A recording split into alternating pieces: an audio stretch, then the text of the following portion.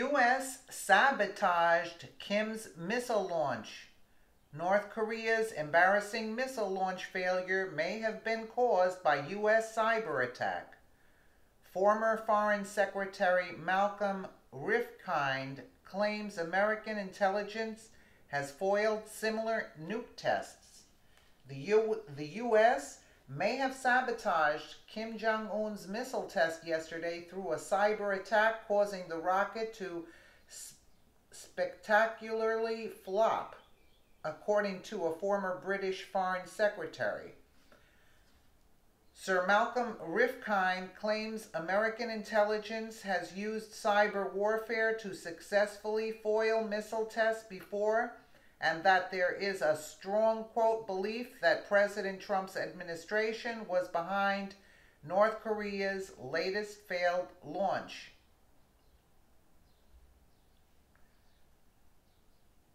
Sir Malcolm Rifkind claims the U.S. could have sabotaged North Korea failed missile launch. Speaking with BBC, he said it could have failed because the system is not complete enough to make it work. But there is a very strong belief that the U.S., through cyber methods, has been successful on several occasions in interrupting these sorts of tests and making them fail.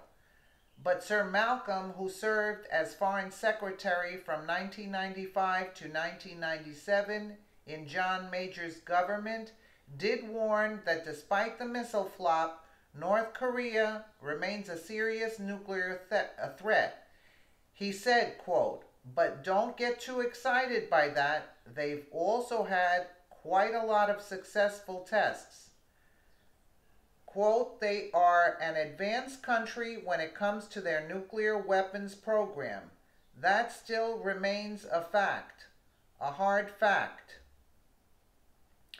South Korea's military reported the launch attempt near Sinpo region, the same area from which the North tested a ballistic missile last month.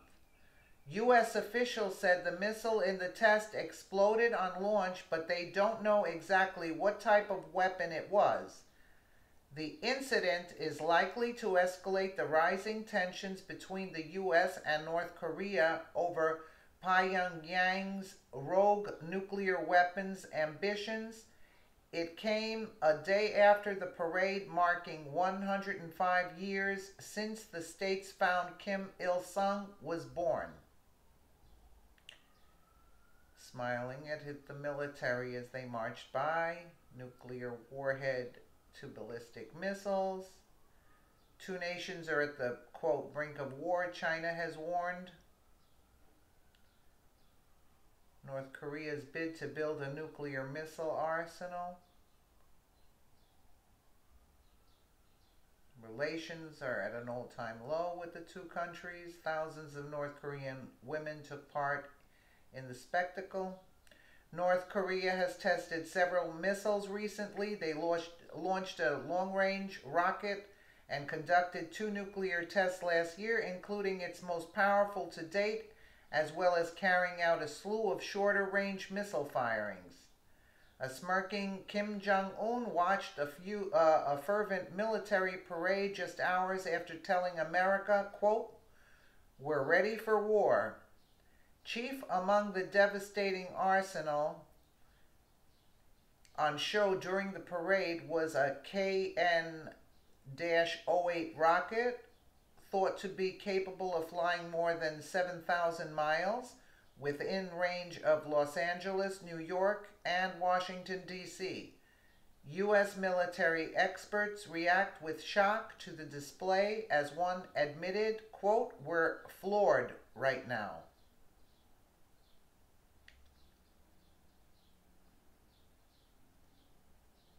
the blast radius of missiles and their nuclear capability.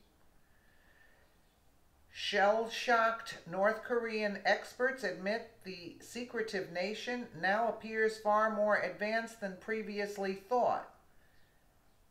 Dave Schmel, whatever, Schmerler, a research associate at the Middlebury Institute of International Studies in California, told the Wall Street Journal, quote, We're totally floored right now. I was not expecting to see this many new missile designs. Also on display was a similarly devastating KN 14 rocket.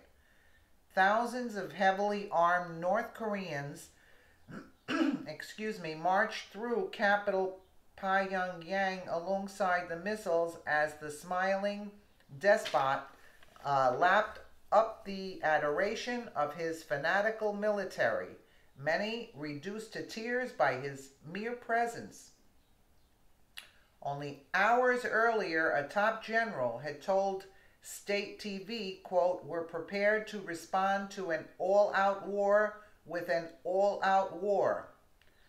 North Korean military official Chow Ryong Hae said, quote, if the United States wages reckless provocation against us, our revolutionary power will instantly counter with an annihilating strike with our style of nuclear strike warfare. Ko's menacing words carried extra threat given many Western commentators consi- uh, Western commentators consider him the country's second in command. Tanks roll down Pyongyang's main square. Thousands rise to their feet and salute. Vast majority of the country's top brass were in attendance. Widespread earlier fears that Kim would use the day of the Sun holiday to carry out a six nuclear warhead test explosion have yet to materialize. Kim was celebrating the 105th anniversary of the birth of the of grandfather Kim Il Sung, the founder of the communist state, wearing a black suit the 33 year old tyrant stepped out of a limousine and onto a red carpet as he arrived for the event in the capital. There he watched thousands of fanatical soldiers goose step through Kim Il sung Square while intercontinental ballistic missiles shared the tarmac with tanks and assault vehicles. The saber rattling display comes just a day after China warned that, quote, war could break out at any moment. A U.S. naval task force is on its way to the Korean Peninsula in a show of force to nuclear seeking Kim. The parade. Giant statue there. Many dancers in red. And Trump forces yesterday put their on their own show as U.S. tanks were pictured carrying out drills in. The North Korean army has already threatened to pulverize the U.S. as tensions soar and claims John Kim Jong Un could hit Western targets with his missiles within four years. The two countries have been facing off over Pyongyang's rogue atomic ambitions in recent weeks.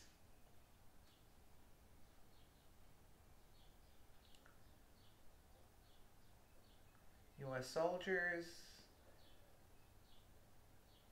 military exercise near the border between South and North Korea.